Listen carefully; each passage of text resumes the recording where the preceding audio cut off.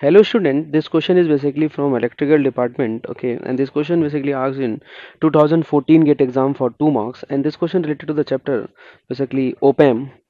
And uh, the question is like that okay? An oscillator circuit using an ideal op-amp and diodes is shown in the figure.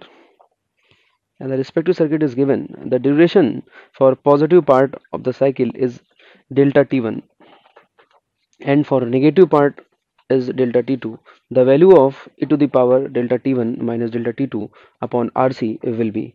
Now we see the solution of this question okay in very much detail. So they can say this question is basically from like your OPM chapter and this is you know a stable multivibrator and this is not a standard picture of your a stable multivibrator okay. So we cannot apply the formula for this particular circuit okay. Uh, and this is very much different circuitry if I just observe at the non-inverting terminal. And here we apply the positive feedback through your D1 and D2 so the little bit I say this change in the circuitry. So I say we cannot apply whatever we have a standard result okay? So now I just see the solution of this question in very much detail. Now try to understand the fundamental. And uh, of this question yes तो जैसा मैंने आपसे बोला कि पहली बात तो ये समझ लो इसमें निकालना क्या है, आप देख रहे हैं यहाँ पे कि E two the power delta T one minus delta T two upon R C और जो डेल्टा टी वन है, वो क्या है? This is a positive half of your positive half के लिए और जो डेल्टा टी टू है, वो निगेटिव हाफ़ के लिए ठीक है ना? इस तरह कुछ मैथमेटिक्स निकालनी जो कि आ जाएगी। देखिए ध्यान से यहाँ पे अगर आप समझिएगा कि यहाँ पे आपने ओपैम विथ पॉजिटिव फीडबैक लगा हुआ है। अगर आप इस पर चेक करें तो definitely we observe the positive feedback और आपको पता है कि जब भी ओपे में पॉजिटिव फीडबैक होगा so always it provide the plus V sat और minus V sat means in particular circuit I say we have here plus five और माइनस फाइव तो यहाँ पे या तो प्लस फाइव आएगा माइनस फाइव आएगा। And now I say this plus five आएगा तो उसके करस्पॉन्डिंग यहाँ वी वन आपका चेंज होगा। और वी वन के करस्पॉन्डिंग आप ऐसे कह सकते हैं कि डिफरेंस के हिसाब से क्या होगा? Plus V sat minus V sat अच्छा इसमें एक बात और भी ध्यान रखनी, जो कि आइडियल है तो इसमें कोई करंट नहीं जाएगी।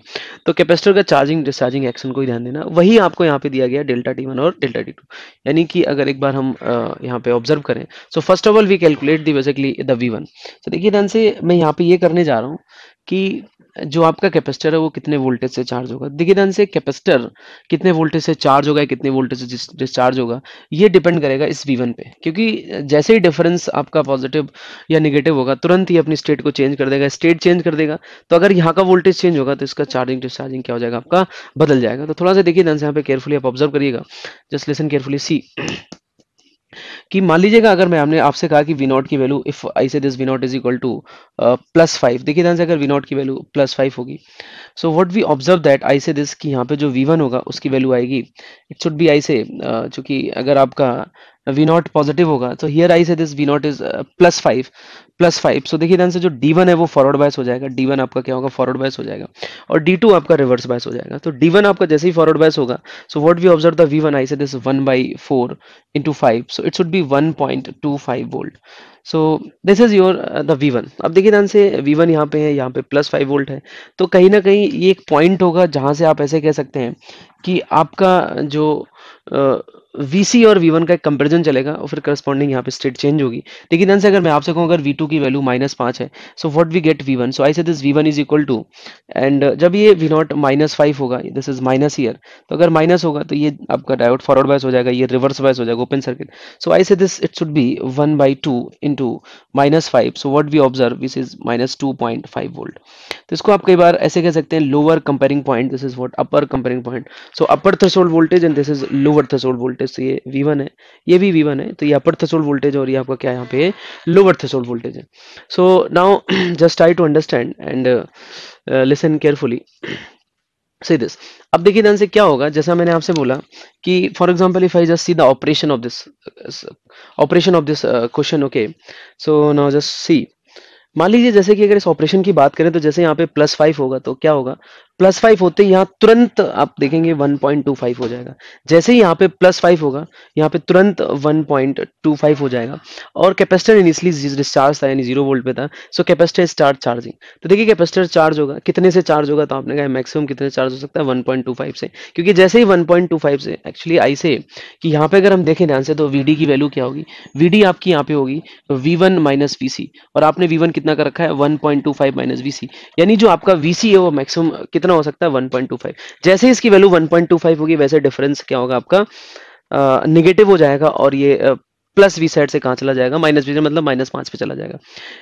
यानी जैसे यहाँ माइनस पाँच होगा, अगर आप ध्यान से देखें तो जैसे ही यहाँ पे माइनस पाँच होगा तो शायद ऑब्ज़र्व कर रहे होंगे कि आपका वी डी क्या है? V one minus V C और वी वन तुरंत आपका कितना हो जाएगा? माइनस टू पॉइंट फाइव और here I say this is we have what we see so so, एक पॉइंट और भी आपको समझ में शायद यहाँ से आ रहा है कि यहाँ पे ये वी वन कितना है? माइनस टू पॉइंट फाइव और ये सी अब देखिए ध्यान से तब तक आपका जो वीसी था कितना चार्ज हो चुका था?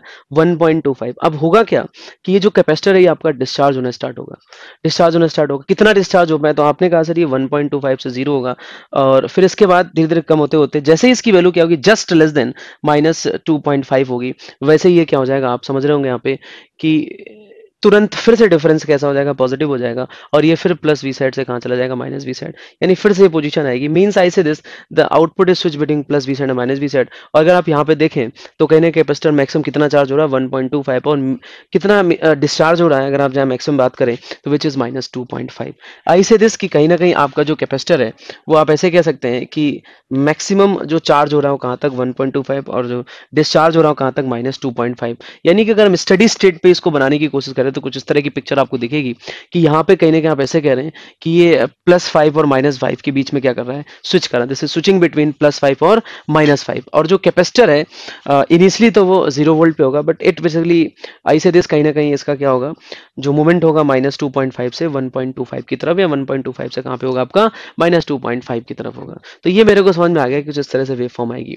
ओके ये इसका ऑपरेशन है। अगर ये मान लीजिए स्टैंडर्ड सर्किट होता तो आपने कई बार ऑब्ज़र्व किया है कि यहाँ पे प्लस बीटा वी सेट और माइनस बीटा वी सेट आता। तो प्लस बीटा वी सेट तक ये चार्ज होता, फिर माइनस बीटा वी सेट तक डिस्चार्ज होता। तो switch between minus beta V sat to plus beta V sat but here I say this because of this circuitry here basically the maximum और the minimum points are changes V तो capacitor maximum कितना charge होता है? जितना यहाँ पे maximum voltage होता है। कैपेसिटर मिनिमम कितना डिस्चार्ज होता है? जितना यहाँ पे क्या होता है आपका? मिनिमम वोल्टेज होता है। तो ये पॉइंट आपको ध्यान रखना। This is basically the triggering point और the I say. So now just try to understand uh, the basically the uh, further कि इसमें करना क्या है। कहीं ना कहीं मेरे को delta T one delta T two little bit I require require the network see this अब देखिए ध्यान से ये बात तो क्लियर हो गई कि मेरे को क्या करना है। ये delta T one so delta T one क्या है? This is basically the positive half मतलब जितनी देरी क्या रहता है? हाई रहता है। सो so they can say i just try to basically solve these equations and then we get the answer. If i just rub this okay see. Okay here. Okay. So just listen carefully and try to understand. Okay. So so, जैसे मान लीजिए मैं आपसे कहूँ यहाँ पे मेरे को सबसे पहले मैं ये देखता हूँ कि for positive of for zero to T one I say I just want to develop the equation so here I say this V initial is equal to so here we observe that V initial v initial i say this is we have what minus 2.5 and v final if i just say v final is equal to what? Plus 5 volt. So v final is we have what plus 5 volt. Uh, okay time constant is just rc yes no problem. This tau is equal to rc so tau is equal to here we observe that rc so what about the v of t? So i say this v of t is equal to v of t is equal to i say if i just replace the number which is equal to minus 2.5 and here i say this minus 5 e to the power minus t by rc and it should be what plus 5 so this equation is valid from i say uh, time uh, 0 to t1 okay. So now if i just want to basically put here at t is equal to t1 or i say this t is equal to delta t1 because t is equal to t1 or t is equal to delta t1 both are basically the same okay so if i just replace so this v of t become how much it should be 1.25 so ध्यान से जैसे यहाँ पे 1.25 कैसे होगा यहाँ पे जैसे हम 2.5 पॉइंट फाइव माइनस फाइव जैसे यहाँ पे हम t रखेंगे delta T one divide by R C plus five so mean size है this is equation number I say first तो इसको हम सॉल्व करेंगे तो यहाँ पे एक बात तो मेरे को समझ में आ रही कि कहीं ना कहीं यहाँ से e to the power minus delta T one upon R C plus five इसको पूरा सॉल्व कर लेंगे। So here we get e to the power minus delta T one upon R C लेकिन से इसके बाद आपको क्या करना है? कुछ नहीं करना है। इसके बाद जस्ट आई से दिस कि हमें क्या करना है? किसी तरह से दूसरी इक्वेशन डेवलप करनी for T one to T two यानी टी वन से टी टू के बीच में इक्वेशन डेवलप करनी है। सो टी वन से टी टू के लिए इक्वेशन डेवलप करनी है तो इसमें अगर आप ध्यान से देखें कि वी इनिशियल कितना होगा तो शायद आप समझ रहे होंगे कि जो V initial means I say this कि अगर मैं आपसे पूछूँ कि यहाँ पे at T is equal to T one अगर आपसे पूछे कितनी वैल्यू होगी तो आपने कहा sir one point two five so if I just develop the equation for T one to T two तो at t is equal to t1 we have this is voltage 1.25 so if I just try to basically solve this so कहीं ना कहीं अगर इसको देखें तो यहाँ पे जो आपका v इनिशियल है which is equal to I say you know 1.25 and what is the final if I say so the V final is minus 5 so यहाँ पे जो V initial है if I say how much we have a V initial so V initial की value यहाँ पे कितनी है V initial I say initial we have 1.25 और जो V final है आपका वो V final की वैल्यू कितनी आपकी है माइनस पाँच है तो ये बात भी आपको ध्यान रखनी है सो so, V initial is basically I say uh, 1.25 और V final कितना है माइनस पाँच है ओके okay? तो v इनिशियल कितना आ गया? 1.25 और v फाइनल कितना हो गया आपका?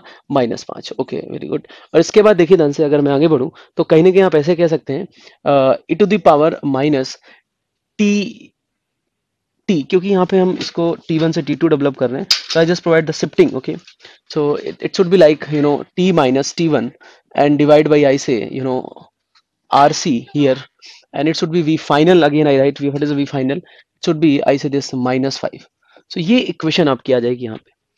तो कहीं ना कहीं मेरे पास ये इक्वेशन आएगी। Now just if I just try to solve this अब देखिए ध्यान से अगर हम इसमें जैसे ही टी की जगह कैपिटल टी टू रखेंगे if I just put T is equal to capital T two तो जैसे ही इसमें टी की जगह कैपिटल टी टू रखेंगे तो इसकी वैल्यू क्या होनी चाहिए? It should be I say this minus two point five so minus two point five one point two five minus minus plus e to the power it should be T two minus T one and divide by R C and minus five so so, शायद आप समझ रहे होंगे कि जो T2 minus T है if I just observe that T2 minus T तो जो आपका T2 माइनस टी है उसकी वैल्यू क्या आ जाएगी? डेल्टा T2 आ जाएगी। तो T2 minus T one should be equal to delta T2 so I say this should be minus 2.5 and here I say this is 1.25 plus 5 and e to the power minus delta t2 divided by rc minus 5 अब देखिए ध्यान से इस minus five को इधर ले आएँगे, इस वाले फाइव को इधर ले आएँगे, इसको सॉल्व करेंगे। तो होप सो शायद मेरे को रिज़ल्ट नज़र आता, दिख रहा है यहाँ से। कैसे आएगा? If I just try to understand हमें क्या चाहिए? Delta T one minus delta T two see तो एक काम करेंगे, आप इसको इक्वेशन फ़र्स्ट कह लें और इसको इक्वेशन सेकंड सेकंड इसको कह लें first already I have written yes तो ये फ़र्स्ट इक्वेशन है, ये सेकंड इक्वेशन है।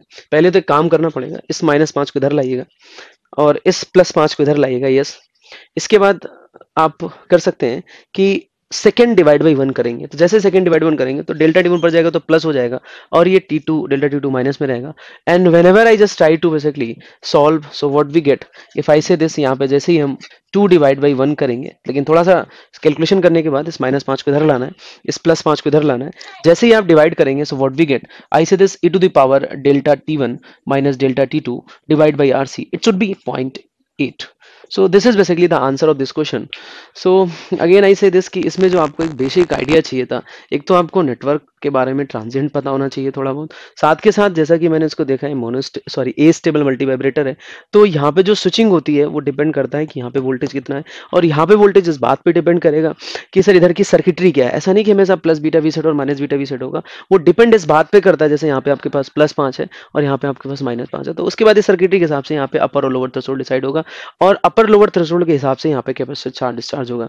तो on the basis of this we can solve this numerical okay so hopefully you can understand the question or along with solution yes. Thank you for watching this video okay.